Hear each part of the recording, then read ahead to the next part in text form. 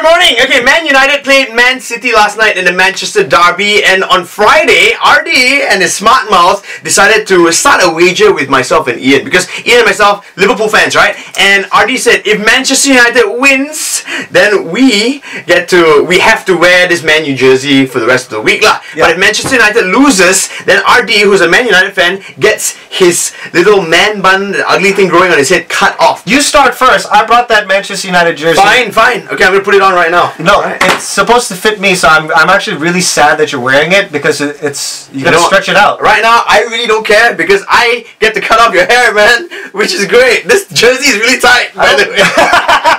this is really tight. This is like a baby tee, okay? I feel like, it's, oh my god, my midriff is showing. Oh my gosh. Okay, give me the scissors. I Oh got my the God, jersey this is happening. This is happening right now. You know, RD's man bun, which has been growing for the Oh. past three or four months. yes. It's about Don't do come. this. Don't do this. Don't do this. Oh. Don't do this. Don't do this. I can feel it. I can feel it. Shh. No. Shh. No. Are you- Ah. No. No. Ah. Why are you It's my hair. It's my hair. Cut hair is so painful. Uh, no. It. Oh, man. No.